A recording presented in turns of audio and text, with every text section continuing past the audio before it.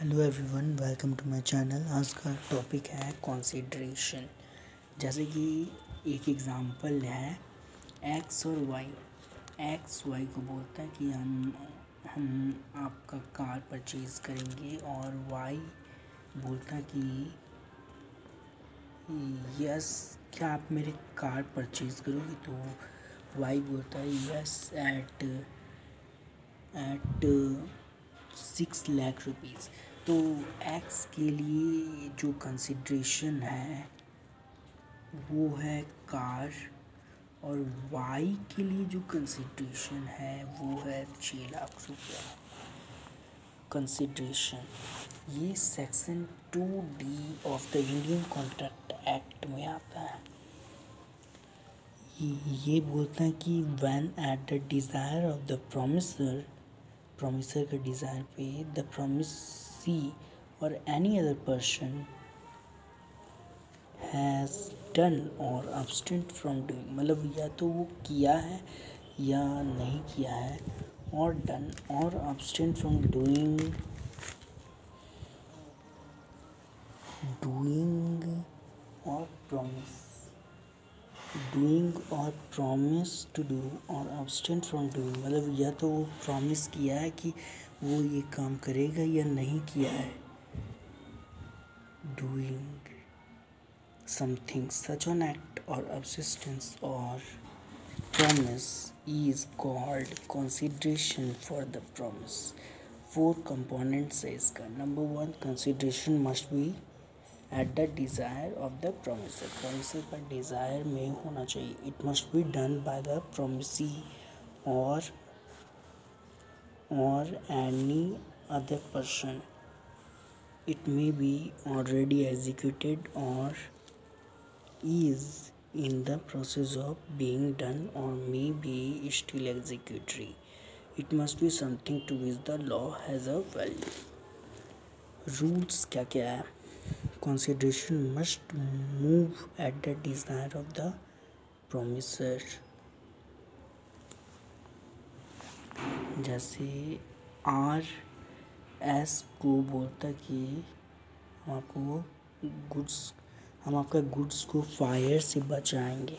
तो ये voluntary service है जो कि एस का कोई डिज़ायर नहीं था। तभी आर मतलब उसको करना चाह रहा है, उसको बचाना चाह रहा है, उसका गुड्स को। कंसिड्रेशन में मूव फ्रॉम प्रॉमिस और any other person executed and executory consideration past or done executed or executory future or will be done past consideration consideration must be something of value मतलब consideration value का होना चाहिए need not to be adequate ये adequate नहीं होना चाहिए no consideration is equal to no contract मतलब कि कंसिड्रेशन नहीं है तो कॉन्ट्रैक्ट भी नहीं है। नेचुरल लव एंड अफेक्शन जैसे ए और बी हैं। ए हस्बैंड है और बी वाइफ है। ए बोलता है बी को कि हम हम आपको अर्निंग देंगे। तो ये हो गया वैलिड कॉन्ट्रैक्ट हम अपना अर्निंग आपको देंगे। और दूसरा है compensation for past voluntary services जैसे कि कुंभ मेला के एक वीक बाद ए का सन कहीं गुम हो जाता है मतलब दूसरे जगह चल तो फिर बी मतलब ए को उसका सन को लेकर आता है, लौटा देता है और दस लाख रुपये उससे ले लेता है ए से। मतलब ए बी को दे देता है उतना पैसा। Promise to pay time paid डेप्ट जैसे ए और बी है। ये लोग दोनों के बीच एग्रीमेंट हुआ था कि तीन साल के, तीन साल का लोन पे करेंगे। तीन साल के बाद लोन पे करेंगे। तो ये बी का मतलब ऑब्लिगेशन है कि उसको लोन पे करना होगा। कंप्लीटेड गिफ्ट डोनर और donning blood contract of agency फिर बेलमेंट फिर चैरिटी अब है परफॉर्मेंस या discharge of contract discharge of discharge by performance इसका दो पार्ट है एक्चुअल परफॉर्मेंस और attempted performance discharge by mutual consent और एग्रीमेंट सेक्शन सिक्सटी टू में आता है. एल्टर remit और refund principles narration. Substitute new contract for a old contract मतलब न्यू कॉन्ट्रैक्ट को सब्सटीट्यूट करना है for a old contract rescission remission no new contract except discharge alteration modified changes new contract formed discharge by impossibility of performance, enforcing change in law और subject matter declaration of war discharge by lapse of time within specified time discharge of breach of contract धोखा देना breach और ये दो type का होता है actual breach और anticipating before specified date by whom contract may be performed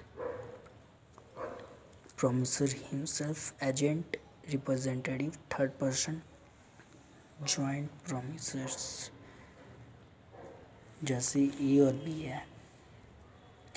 ए बोलता है कि हम आपका गुड्स को देखभाल करेंगे और बी उसको पैसा देता है मनी देता है। तो ए अगर मर जाएगा तो उसका लीगल रिप्रेजेंटेटिव उसका देखभाल करेगा बी का गुड्स का। और दूसरा केस में ए पेंटर है और बी कस्टमर है।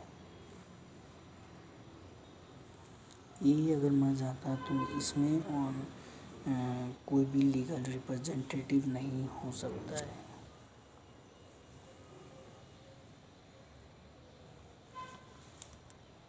और थर्ड पर्सन जैसे ए और B on behalf of B C pay कर देता है ए को। Breach of contract types remedies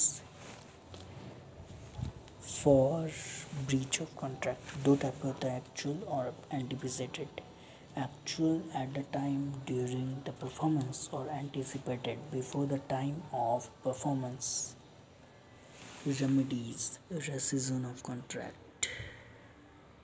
Cancellation. Suit upon quantum meruit according to the quantity of work done ये डिपेंड करता है क्वांटिटी ऑफ़ वर्क डन पर।